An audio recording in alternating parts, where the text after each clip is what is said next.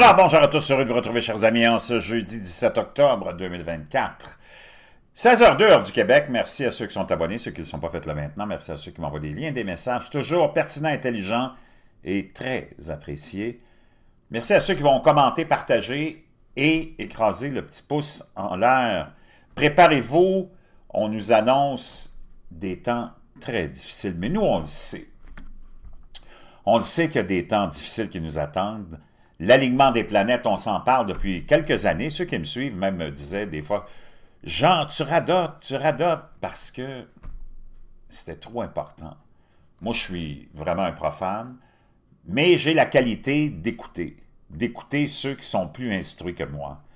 La force d'un individu, c'est de reconnaître qu'il y en a plusieurs qui sont plus instruits, plus intelligents et qui ont plus de sagesse que toi et c'est surtout de les écouter dans tous les domaines.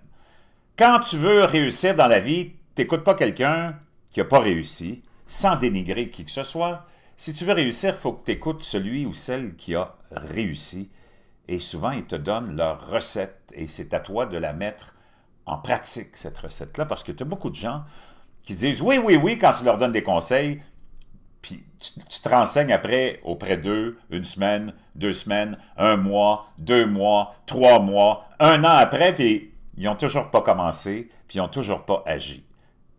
Donc moi, j'ai, ça m'a pris du temps à développer ça, mais j'ai développé la volonté, la persistance et la constance et le désir de faire quelque chose. Et c'est pour ça que j'ai écouté ce qu'il faut écouter dans tous les domaines de ma vie. Et je peux te dire une chose, ça marche.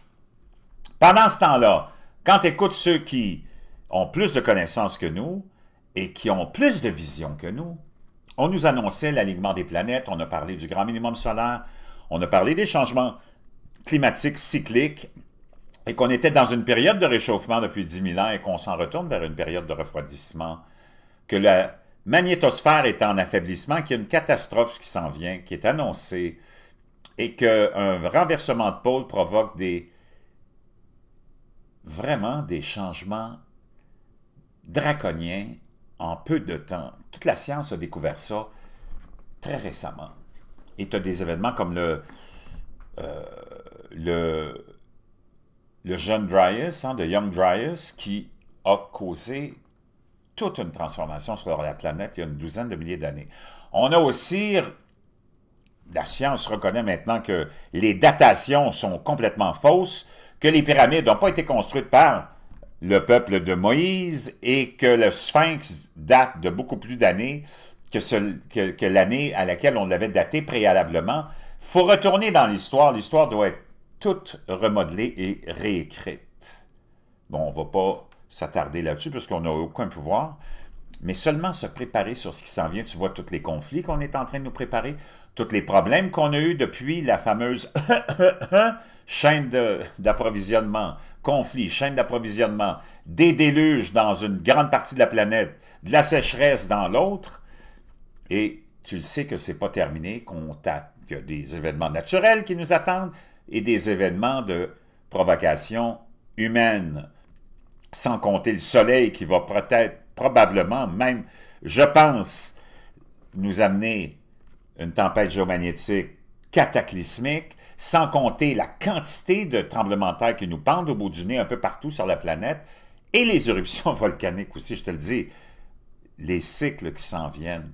Toutes les planètes sont alignées. Le 24 octobre approche où tu auras cet alignement de planètes qu'on n'a pas vu depuis pouf, tellement, tellement, tellement longtemps. Les quatre grandes gazeuses dont je t'ai parlé. Et j'en passe et j'en passe et j'en passe. Et là, maintenant, pour la première fois dans l'histoire de l'humanité, les médias te préviennent déjà de ce qui s'en vient. On s'en va avec l'alarmisme, mais il y a du symbolisme là-dedans. Tu le sais qu'eux autres, ils te présentent toujours ça à l'avance. C'est pour te préparer à des gros, gros, gros chocs qui s'en viennent, surtout au niveau de l'approvisionnement. Attends-toi à revivre ce que tu as vécu durant la mais fois 100. OK? Fois 100, le système qui déplace l'eau autour de la Terre est déséquilibré. L'humanité a déséquilibré le cycle mondial de l'eau. Ah ouais? Comment ça? Mais c'est CNN qui te le dit. Pour la première fois dans l'histoire de l'humanité, alimentant une catastrophe hydrique croissante qui va faire des ravages sur les économies, la production alimentaire et les vies, selon un nouveau rapport historique. Des décennies d'utilisation destructrice des terres et de mauvaise gestion de l'eau se sont combinées à la crise climatique d'origine humaine pour exercer une pression sans précédent sur le cycle mondial de l'eau, indique le rapport publié mercredi dans la Commission mondiale sur l'économie de l'eau, un groupe de dirigeants et d'experts internationaux. Ça, c'est sans compter que le désert hein, du Sahara est en train de verdir tellement il y a eu d'eau et d'eau qui sont tombées dans les dernières années. Le cycle de l'eau désigne le système complexe par lequel l'eau se déplace autour de la Terre. L'eau s'évapore du sol, y compris des lacs, des rivières et des plantes, et monte dans l'atmosphère. Ça, c'est sans compter que la Terre s'est enverdie de 30 depuis, de, de 10 à 15% depuis 30 ans. Ça, c'est les données de la NASA en plus. Quand on sait que les arbres et la végétation et les planctons et les phytoplanctons planctons sont là pour s'alimenter avec le CO2. L'eau s'évapore du sol, y compris des lacs, des rivières et des plantes, et monte dans l'atmosphère, formant de grandes rivières de vapeur d'eau capables de parcourir de longues distances avant de se refroidir, de se condenser et de retomber finalement au sol sous forme de pluie ou de neige. Oh, on est en train de te préparer au grand minimum solaire, puis à cette vague, parce qu'on retourne vers un refroidissement, tu auras, en plus, dans ce grand minimum solaire, comme, comme il y a eu dans celui de Maunder en 1700 quelques, pendant deux ou trois ou quatre, même cinq décennies, la Tamise qui a gelé, le lac de Côme qui a gelé, et tu as des œuvres et des peintures qui rapportent tout ça. Alors qu'on te disait, il n'y a pas si longtemps, des Al Gore de ce monde qui aurait plus de neige. Si tu veux voir de la neige, ça va prendre une photo de famille historique, parce que les enfants ne connaîtront pas ce que c'est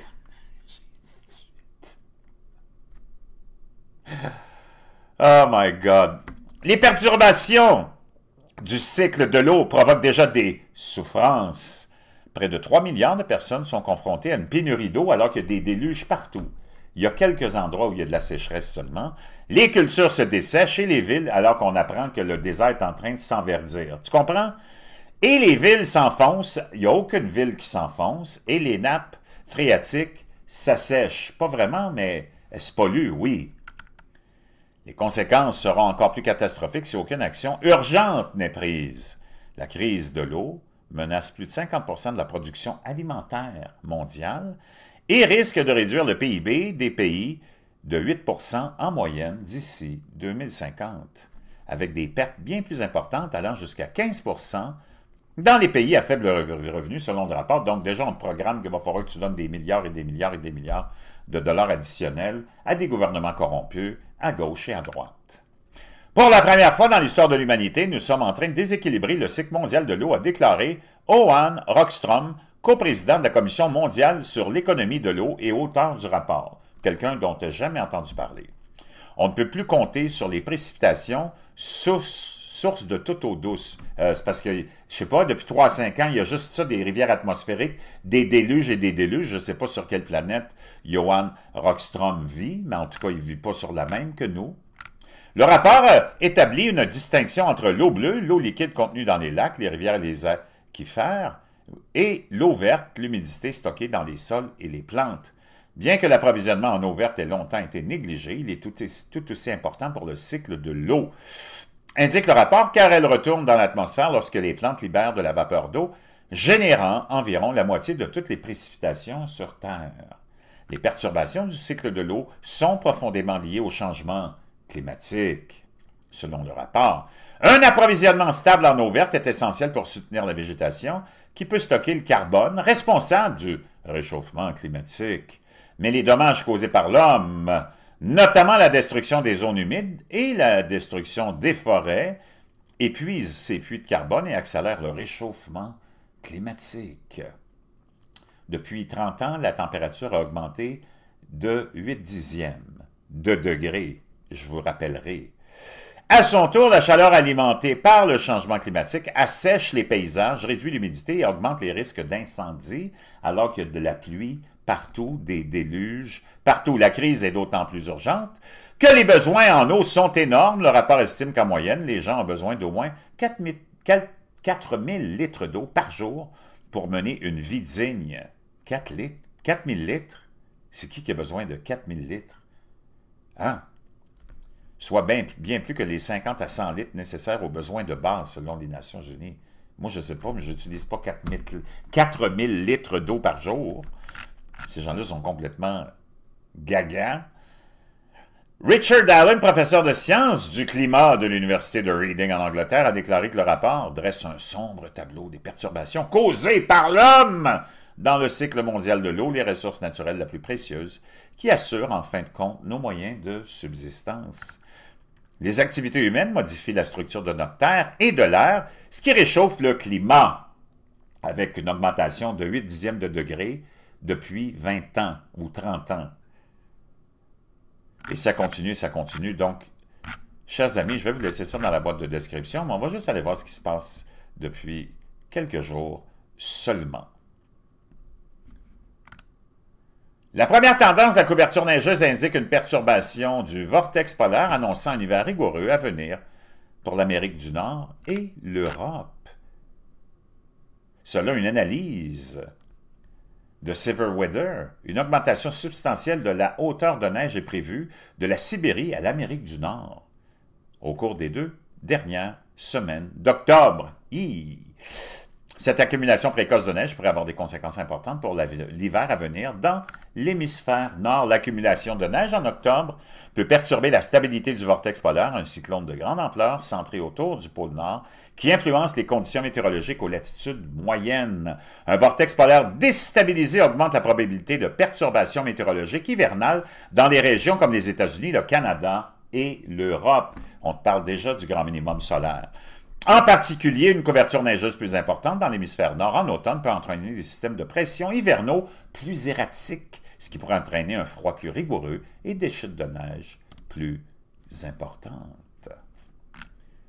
Plus de 2 millions de personnes déplacées et 200 communautés submergées par de graves inondations au Nigeria. je ne te parle même pas des inondations qui ont eu lieu euh, à cause des euh, fameux euh, ouragans Hélène et Milton. De fortes pluies provoquent de graves inondations à Marrakech, faisant deux victimes. Ça, c'est 17 octobre, publié aujourd'hui. Les inondations déclenchées par de fortes pluies et des orages entre le 12 et le 14 octobre 2024 ont fait deux victimes dans la ville de Marrakech au Maroc. De fortes pluies accompagnées d'orages ont provoqué de graves inondations dans la ville de Marrakech du 12 au 14 octobre. Les inondations ont fait au moins deux victimes. Toutes les rues et les véhicules ont été submergés dans la région. Et des pluies torrentielles provoquent des inondations massives à la Mecque. 11 octobre, ça fait 3-5 ans que ça se produit. En Europe, vous avez aussi des pluies hallucinantes. Et j'en passe, et j'en passe, et j'en passe. Graves inondations qui touchent plus de 130 000 personnes au Sri Lanka. Et j'en passe, et j'en passe, parce que je pourrais passer toute la journée, toute la nuit, toute la journée de demain, après-demain, et pendant des semaines et des semaines, à te parler de toutes les inondations qui ont eu lieu depuis 3 à 5 ans. C'est pas parce qu'il y a deux, trois régions où il y a de la sécheresse que c'est la sécheresse généralisé. Donc, c'est pour ça qu'il faut faire très attention, il faut être très, très éveillé et il faut faire des recherches. Et il ne faut pas oublier que